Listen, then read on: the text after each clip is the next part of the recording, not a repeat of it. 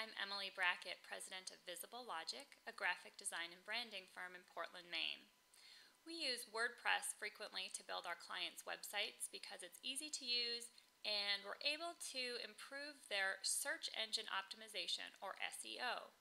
In this video, I'm going to show you how to control the H1 tags, title tags, and create custom URLs to improve your search engine optimization. Okay, we're here in the admin panel of WordPress and we're going to start a new page. You can either create a new page or a new post. What we're talking about applies equally to either.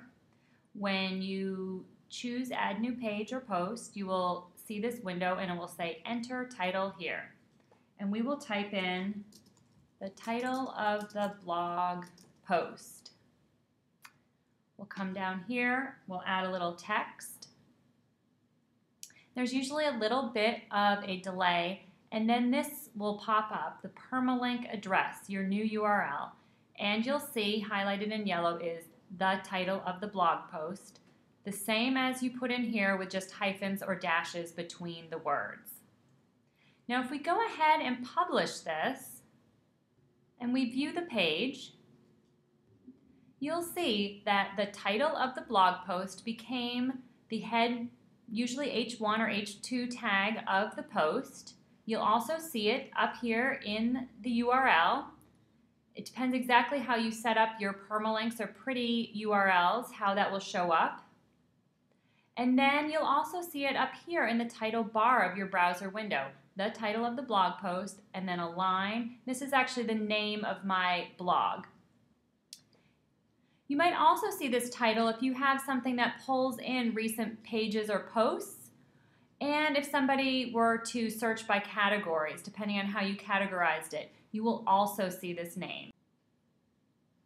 Having the same title repeat over and over in different places is okay, but sometimes it's more valuable to add some other keywords for search engine optimization.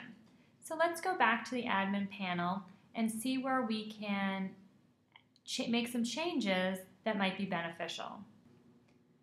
On my version of WordPress, I have a plugin called Platinum SEO Pack, and that allows me to override the title tag by putting in a new title here. Let's say I put in blog post about branding and graphic design in Portland, Maine update the page and view it. And you'll see it here, blog post about branding and graphic design in Portland, Maine. It's in the title bar of my browser window. Now, I might not want that to be the main title that you see here, but having it in the title tag is really great for SEO. And let's look at a couple other places that we can make some changes. Another thing we could do is go ahead and add an H1 tag here critical steps for brand awareness. And we will style it as an H1. Again, we'll update the page, view the page.